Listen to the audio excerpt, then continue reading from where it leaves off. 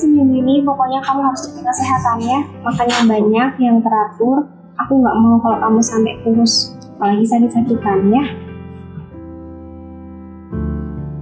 Kurban perasaan itu sakit loh, mending kurban di Al-Fatihah aja. Nggak bikin sakit hati dan bikin banyak orang jadi happy.